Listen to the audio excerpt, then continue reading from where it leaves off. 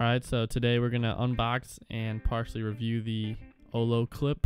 It is a fisheye, macro, and wide angle lens for the iPhone 4 and 4S. As you see, it's really small and packaged and everything. So, it's just a pretty simple package, just pop it right open, no need for scissors.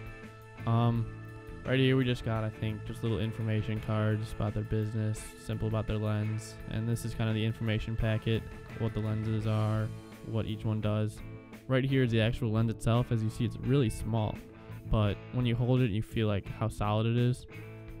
And then we got this bag it comes with, which also comes as a lens cleaner, and it comes with two lens caps for the wide angle and for the fisheye, which is nice. These babies. Alright, so here's the fisheye lens. As you see, the glass is really nice and it feels really solid when you have it in your hand, and it's still really light. Here's the wide angle lens. All you have to do to get to the macro is just unscrew the wide angle, and it gives you the macro. And the macro itself is actually an amazing lens because it's a 10 times macro. You can get up to like 13 millimeters close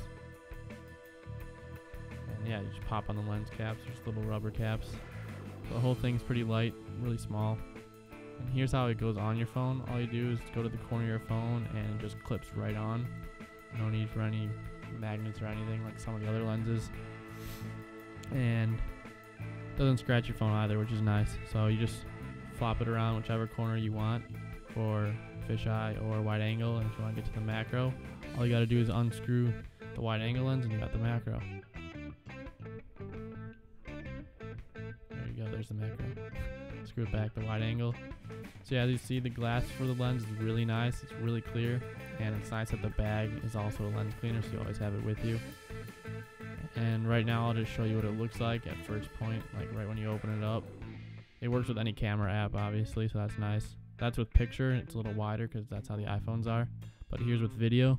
You can see it's really clear and doesn't do much distortion with video, which is nice because a lot of people don't like the vignette on the sides. And it still autofocuses, everything is great, and that's without the fisheye lens. You can see the big difference. then here's the wide angle lens, which doesn't have much distortion. It just kind of gives you a little, little more depth. And this is the macro lens, which I was actually astounded, whatever that word is, by.